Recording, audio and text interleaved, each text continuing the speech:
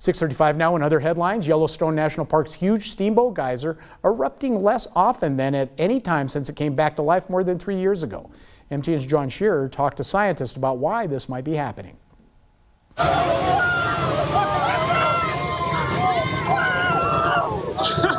Well, you know, Steamboat may be slowing down. Steamboat, the world's tallest active geyser, spoiled geyser fans, erupting on average every five to ten days until May of this year. This is sort of something that we expected would eventually happen because Steamboat does go through cycles. Here at the Norris Geyser Basin, most people visiting probably aren't even aware that Steamboat Geyser has not been going off as often lately.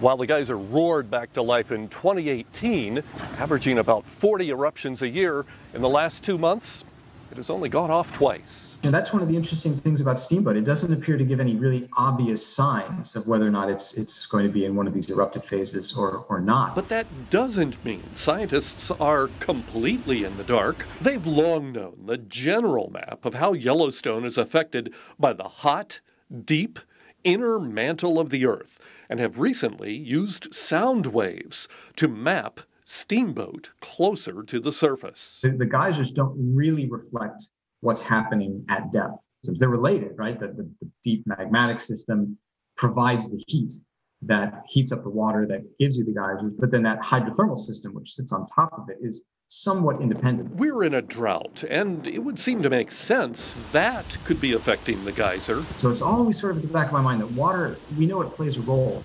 How much of a role it plays at Steamboat specifically is still unknown. While scientists have no definitive answers for what's happening to Steamboat right now, they're still excited because the very fact that changes are taking place means they have an opportunity to learn more. And even though it may not be you know, as exciting because we don't have eruptions every five days like we have the last you know, three summers.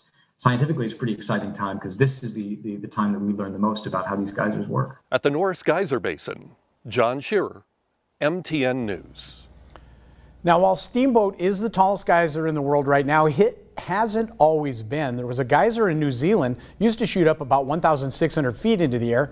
It hasn't gone off in 117 years. Even in Yellowstone, Excelsior Geyser in the Midway Geyser Basin, not far from Old Faithful, used to be just as tall, but it hasn't gone off since 1985. And Semi-Centennial Geyser near Roaring Mountain, that's north of Steamboat, was just as tall, but that one's been dormant for 99 years.